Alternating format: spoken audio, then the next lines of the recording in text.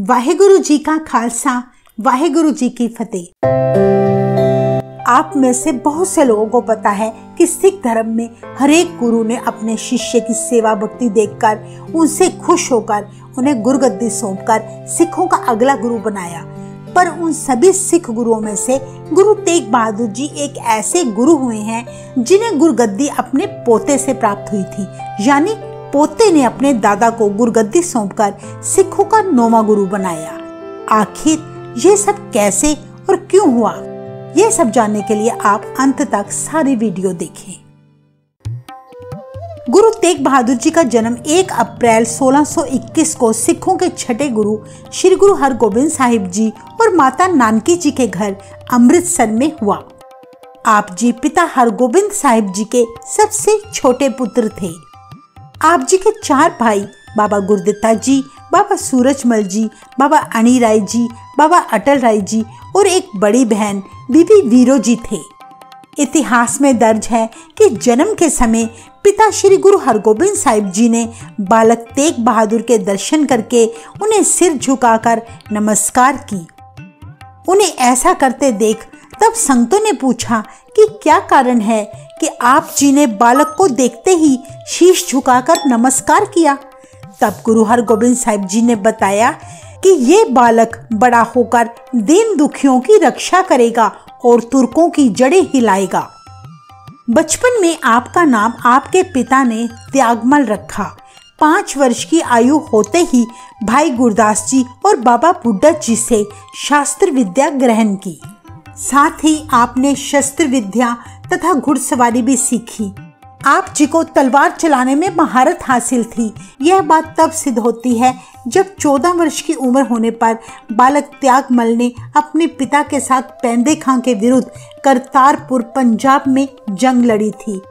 उस समय बालक त्यागमल ने तलवार के ऐसे जौहर दिखाए कि दुश्मन उनके सामने टिक न सके। इससे प्रसन्न होकर गुरु पिता हरगोबिंद साहिब जी ने आपका नाम त्यागमल से तेग बहादुर रख दिया। श्री गुरु तेग बहादुर जी का स्वभाव बचपन से ही बड़ा कोमल और सहनशील था। वे किसी का भी दुख सहन न कर पाते। एक बार किसी गरीब जरूरतमंद व्यक्ति को पैसों की ज़रूरत थी। गुरुजी तब अपने घर से सामान लाकर उसे दे आए। जब आपके माता जी ने इस बात का कारण पूछा, तब आपने बड़े सहज स्वभाव कह दिया माता जी हमें ऐसे सामान का क्या करना, जो हमारे लिए इतना ज़रूरी नहीं है, पर उस गरीब के किसी काम अवश्य आ सकता है। इतिहास में दर्ज है कि आपके बड़े भाई गुरुदत्ता जी के विवाह के समय बालक तेग बहादुर जी को बेशकीमती पोशाक, सोने के कड़े और हार पहनाए गए। जब बारात चलने लगी तो आप जी की नज़र एक भूखे नंगे गरीब बच्चे पर पड़ी। आप उसको इस अवस्था में देखकर इतने दुखी हुए कि दौड़कर उसे अपने कपड़े और गहने दे आए। आपके पिता तब बहुत खुश हुए। इन सभी घटनाओं से यह सिद्ध होता है कि आप बड़े ही दयालु थे। बालक तेग बहादुर जी के दूसरे बड़े भाई बाबा अटल राय जी थे, जो आपसे केवल दो साल बड़े थे। हम उम्र होने से दोनों भाइयों में बहुत प्यार था। एक बार की बात है, बाबा अटल राय जी और बालक तेग बहादुर जी बचपन में अपने साथियों के साथ आँख में चोनी खेल रहे थे। ढूँढने की जिस बालक की बारी आती तो उसे अपनी बारी देनी पड़ती थी। अंधेरा हो जाने पर खेल बंद करना पड़ा, पर ढूँढने की बारी एक मोहन नामक बालक की थी। अगले दिन वही खेल शुरू किया गया, पर मोहन खेलने ना आया।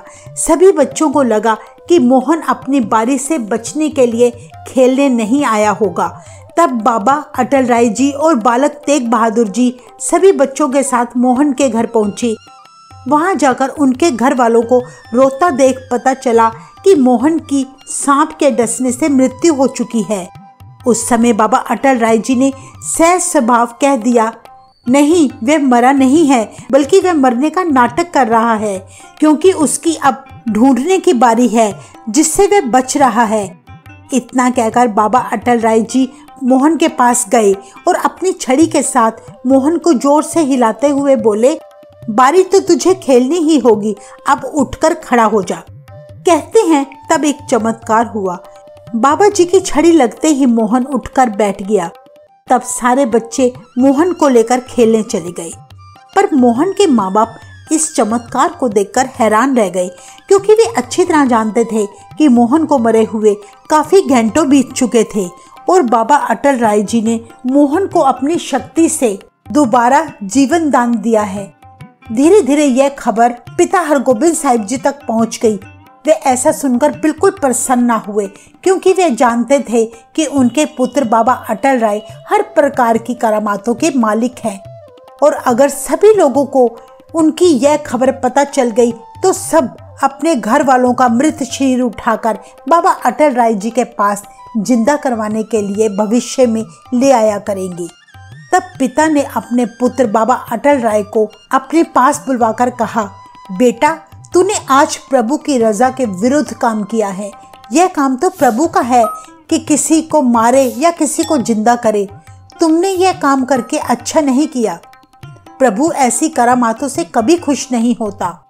हमेशा सतगुरुओं ने संगतों को यही उपदेश दिया है कि ईश्वर की रजा में रहकर हर कार्य करना चाहिए। पर तुमने उस प्रभु की मर्ज़ी के खिलाफ ही काम कर दिया। इतने वचन सुनकर बाबा अटल राय जी शर्मसार होकर वहाँ से चले गए।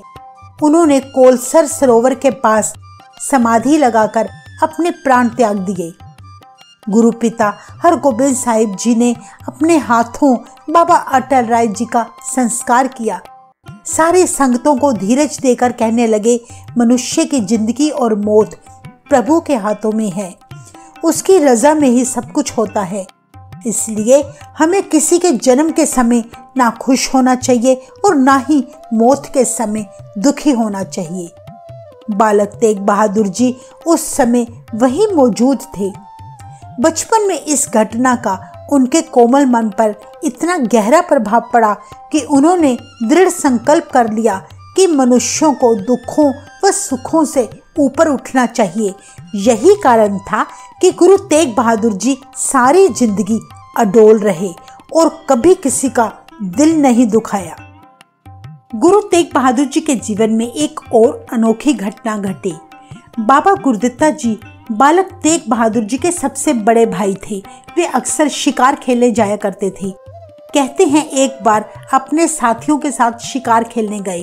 तब उनके साथी द्वारा एक गाय का गलती से शिकार हो गया, जिससे गाय की मौत हो गई। गाँव वाले इकट्ठे हो गए। गाय का मालिक भी वहाँ आ पहुँचा। अपनी मरी हुई गाय को देखकर वह तड़प उठा। वह बहुत गरीब था और ज़ोर ज़ोर से रोने लगा। इस तरह सभी लोग बाबा गुरुदत्ता जी के पास गाय को जीवित करने की बहुत विनती करने लगे। उनकी बात मानकर उन्होंने गाय को जीवित कर दिया। उनके पिता हर गोबिंद साहिब जी को जब पता चला तो उन्होंने इस बात की घोर निंदा की।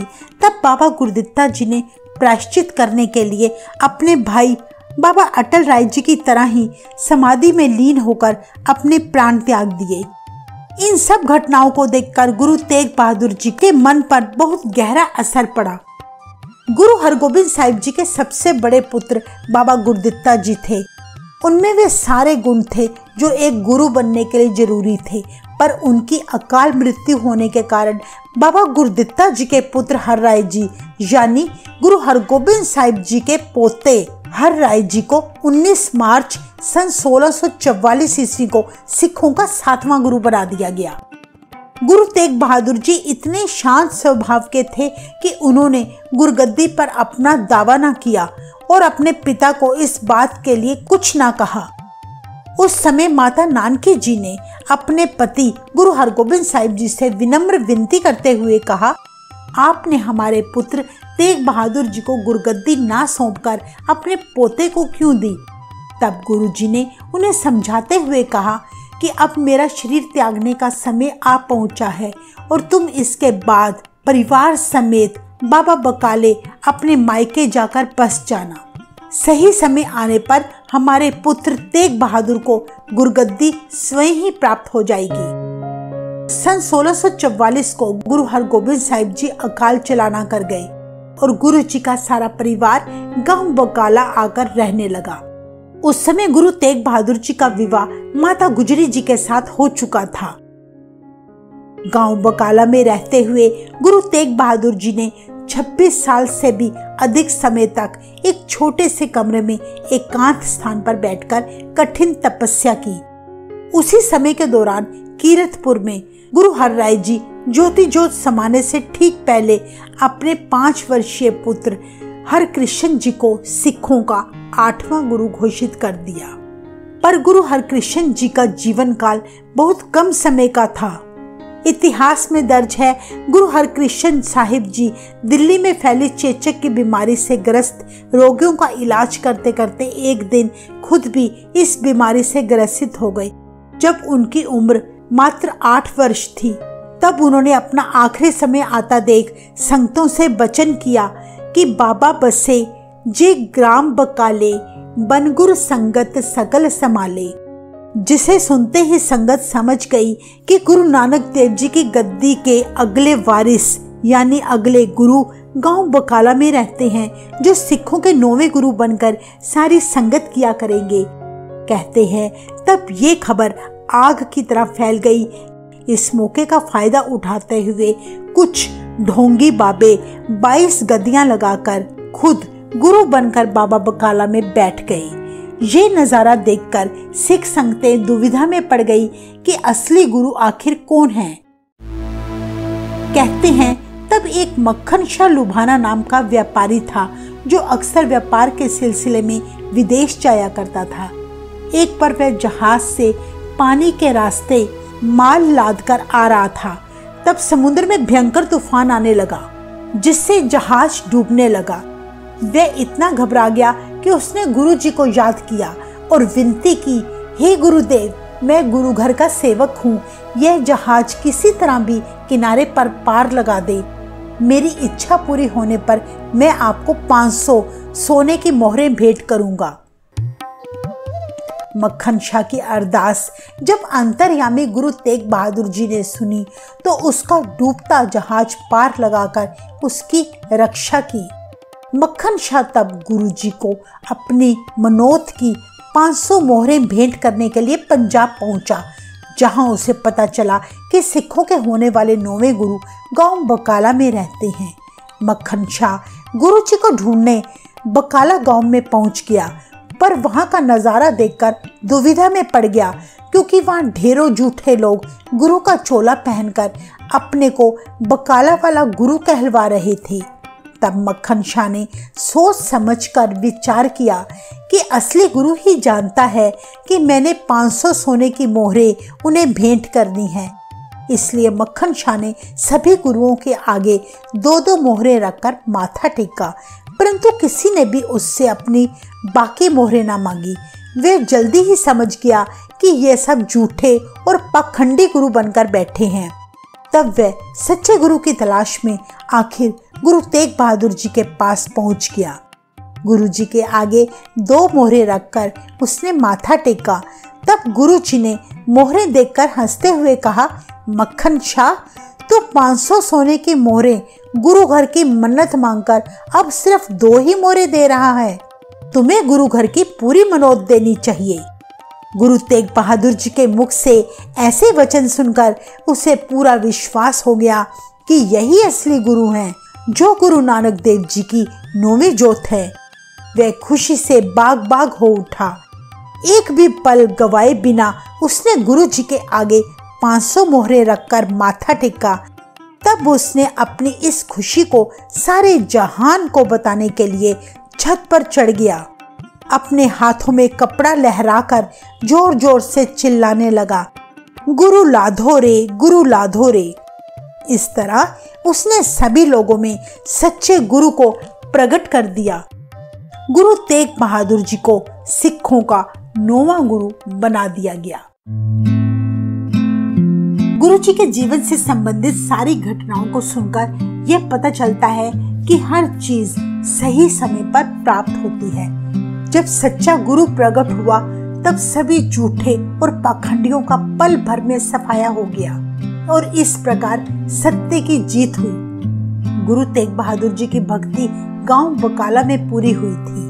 तभी से यह स्थान बाबा बकाला के नाम से जाना जाने लगा। बाबा बकाले के उसी स्थान पर आजकल बाबा बकाला नामक बहुत सुंदर गुरुद्वारा स्थापित है। वाहे गुरु जी का खालसा वाहे गुरु जी की फतेह।